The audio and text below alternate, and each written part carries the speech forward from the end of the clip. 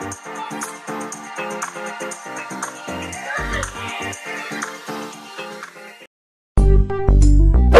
กับคลิปใหม่ทุกวันทำงาน จันทร์ถึงศุกร์ตาม l ายแอดไทยแฟรนไชส์รวยกระจายแน่นอน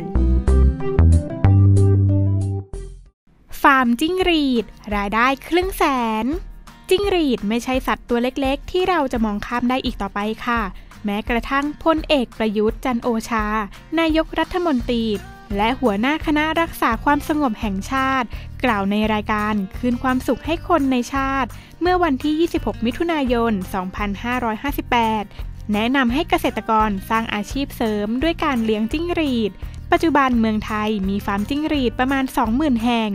ส่วนใหญ่อยู่ในพื้นที่ภาคตะวันออกเฉียงเหนือ อาทิ ขอนแก่น กาลสินธุ์และมหาสารคาม และมูลค่าการเพาะเลี้ยงจิ้งหรีดของประเทศไทย มีกำลังการผลิตสูงถึง 7,500 ตันต่อปี เว็บไซต์ไทยแฟรนไชส์เซ็นเตอร์มองเห็นทิศทางและการเติบโตของฟาร์มจิ้งหรีดในเมืองไทย ซึ่งมีเกษตรกรมากมายที่ประสบความสำเร็จกับการเลี้ยงจิ้งหรีด บางคนเริ่มลงทุนแค่ 4,000ถึง5,000 จนสุดท้ายสามารถขยายเป็นโรงงาน ผลิตอาหารแปรรูปจากจิ้งหรีดแบบครบวงจร มีรายได้เดือนละเป็นล้าน แน่นอนว่าก่อนจะไปถึงจุดนั้นได้ ในฐานะมือใหม่ก็ต้องศึกษา และทำความเข้าใจในเรื่องนี้อีกมากก่อนค่ะ มารู้จักจิ้งหรีดกันเถอะ จิ้งหรีดเป็นแมลงที่เลี้ยงง่าย ขยายพันธุ์เร็ว ให้ผลผลิตสูง แม่พันธุ์หนึ่งตัวให้ลูกถึง 1,000 ตัว รวมถึงใช้พื้นที่และปริมาณน้ำในการเลี้ยงน้อย ทั้งยังไม่ต้องใช้เทคโนโลยีและต้นทุนในการเลี้ยงที่สูง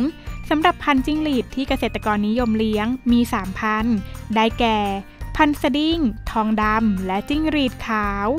แม้จิ้งหรีดจะดูว่าเลี้ยงง่ายลงทุนน้อยก็จริง แต่ส่วนใหญ่จะเสียก็ตรงที่เวลาเพาะออกมาเป็นตัวแล้วจะเหลือน้อย ตอนที่ลอกคราบเพาะก็จะมีการกินกันเอง จิ้งหรีดตัวที่ลอกคราบเปลี่ยนไซส์จะอ่อนแอมาก เหมือนตัวอ่อน ก็เลยตกเป็นเหยื่อของจิ้งหรีดตัวที่แข็งแรงกว่า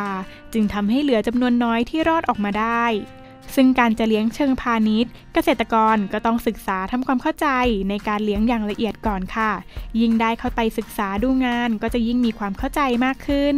ซึ่งการเลี้ยงจิ้งหรีด ส่วนใหญ่เราจะคุ้นเคยกับการเลี้ยงจิ้งหรีดในกล่อง ซึ่งเป็นวิธีเริ่มต้นที่ง่ายที่สุดค่ะก่อนถึงขั้นจะเพาะเลี้ยงในบ่อปูน และพัฒนามาถึงขั้นการเลี้ยงในเชิงพาณิชย์ แบบเป็นโรงงานอุตสาหกรรม และแน่นอนว่าหากคิดทำเชิงการค้าก็จะขอแนะนำการเพาะเลี้ยงจิ้งหรีดในบ่อปูน ที่ดูจะได้ปริมาณที่คุ้มค่ากับการลงทุนมากกว่า โดยอุปกรณ์สำคัญสำหรับการเลี้ยงในบ่อปูนคือ อุปกรณ์ในการเพาะเลี้ยงจิ้งหรีดในบ่อปูน 1. บ่อซีเมนต์กว้าง 1.20 เมตร 2. ถาดไข่จิ้งหรีด 4 ถาด ซื้อมาถาดละไม่เกิน 100 บาท 3. อิฐบล็อก 3-4 ก้อน 4. ถาดใส่ไข่ไก่ประมาณ 20-30 อัน 5. แผ่นฟองน้ำ 1-2 อัน ไว้ให้น้ำจิ้งหรีด 6. กระบอกฉีดน้ำฟ็อกซี่ 7. ผ้ามุ้งเขียวใช้ปิดปากบ่อกันจิ้งจก 8. อาหารไก่และรำข้าว 9. ถาดใส่แกลบดำ ไว้รองไข่จิ้งหรีด ตอนจิ้งหรีดตัวเมียวางไข่ค่ะ วิธีการเลี้ยงจิ้งหรีดในบ่อปูน 1. นำถาดไข่จิ้งหรีดที่ได้มา ไปอบให้ความร้อนประมาณ 7-10 วัน โดยอบในกล่องโฟมค่ะ พอเริ่มเห็นตัวอ่อน ค่อยย้ายไปลงในบ่อซีเมนต์เอาแผ่นฟองน้ำไปวางไว้เพื่อให้น้ำ เมื่อเริ่มฟักเป็นตัว ให้พรมน้ำก่อน อย่าเพิ่งให้อาหาร 2. นำอิฐบล็อกมาวางก้นบ่อ เพื่อให้มีพื้นที่โล่งโปร่งไม่อับชื้น 3. ใส่ถาดไข่ไก่วางซ้อนประมาณ อันละ 5-7 อัน วางลง 4-5 อัน เพื่อเอาไว้ให้จิ้งหรีดเป็นที่หลบซ่อนตัวเวลาลอกคราบ 4. ให้อาหารทีละน้อยๆพอหมดค่อยเพิ่ม โดยจะใช้อาหารไก่ผสมกับรำข้าว ผักบุ้งไว้เป็นอาหารเสริม 5. เลี้ยงไปประมาณ 30 วัน ให้สังเกตดูจิ้งหรีดจะขันหรือมีเสียงร้อง นั่นคือตัวผู้เรียกตัวเมียเพื่อผสมพันธุ์ ก็ให้เอาถาดใส่แกลบดำไปวางไว้บนอิฐบล็อก เพื่อให้จิ้งหรีดตัวเมียได้วางไข่ รองไข่ไว้ประมาณ 2 วัน จิ้งหรีดตัวเมียจะเอาเหล็กแหลมตรงตูดแทงเข้าไปในแกลบดำเพื่อวางไข่ 6. เอาถาดที่รองไข่ไปอบเพื่อเลี้ยงขยายพันธุ์ต่อไป หรือจะขายไข่ที่รองไว้ก็ได้ส่วนจิ้งหรีดที่โตแล้วสามารถจับขายได้เลย หรือจะนำมาแยกเพื่อเลี้ยงต่อ หรือเพื่อรองเอาไข่ต่อไปอีกประมาณ 3-4 รอบ โดยจิ้งหรีดตัวเมียหนึ่งตัว สามารถวางไข่ได้ทีละ 500-700 ฟองเลย เราก็ค่อยๆพัฒนาย้าย หรืออาจจะเพิ่มบ่อเพื่อขยายพันธุ์ และเพิ่มปริมาณให้มากขึ้น จะเห็นได้ว่าซื้อแค่ถาดไข่จิ้งหรีดมาตอนแรก ก็สามารถต่อยอดไปได้เรื่อย ๆ เลยค่ะ เทคนิคสำหรับมือใหม่ เริ่มจากลงทุนน้อยๆ ประมาณ 4,000ถึง5,000 บาท แค่เอาให้รู้ก่อนว่าเราเลี้ยงได้หรือไม่ แล้วไปหาตลาด หาคนรับซื้อ จากนั้นจึงค่อยๆ ขยายการเลี้ยงขึ้นสำหรับมือใหม่ แนะนำกล่องขนาด 1.2 คูณ 2.4 เมตร เป็นกล่องมาตรฐาน 1 กล่อง เฉลี่ยเลี้ยง 20 กิโลกรัม ก็ต้องคำนวณว่าใน 20 กิโลกรัมนี้ ถ้ามีผลผลิตออกมาจะขายหมดหรือไม่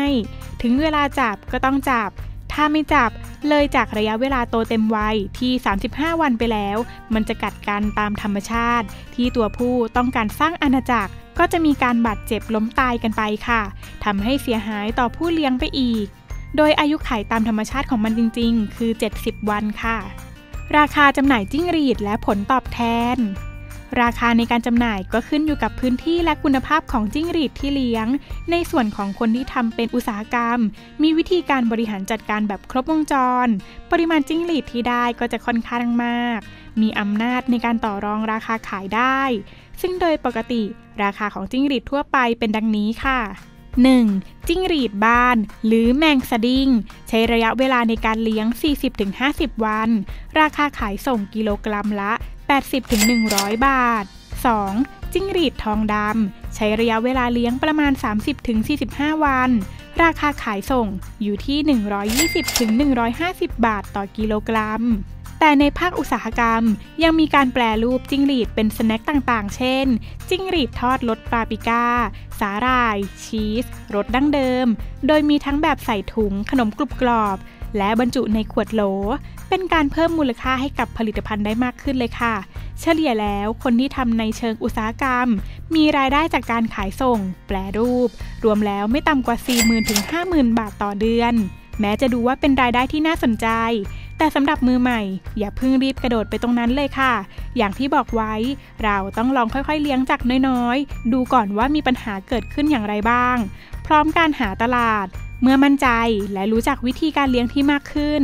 ค่อยขยายขนาดของฟาร์มที่เพาะเลี้ยง และต่อยอดจากขั้นเล็กๆ ไปจนถึงขั้นใหญ่ๆหากตั้งใจจริง เชื่อว่าอาชีพเพาะเลี้ยงจิ้งหรีดนี้ มีอนาคตที่สดใสรออยู่แน่นอนค่ะ คุณผู้ฟังสามารถร่วมแชร์แลกเปลี่ยนความรู้กันได้ หรือสามารถคอมเมนต์มาได้ที่ใต้คลิปนะคะสำหรับท่านผู้ฟังที่ชื่นชอบ และสนใจในเรื่องราวของธุรกิจ สามารถเข้าไปอ่านบทความเพิ่มเติมได้ที่เว็บไซต์ thaifranchisecenter.com หรือรับฟังผ่านทางช่อง YouTube Thai Franchise Center และกลับมาพบกันใหม่ในบทความหน้าสำหรับวันนี้ สวัสดีค่ะ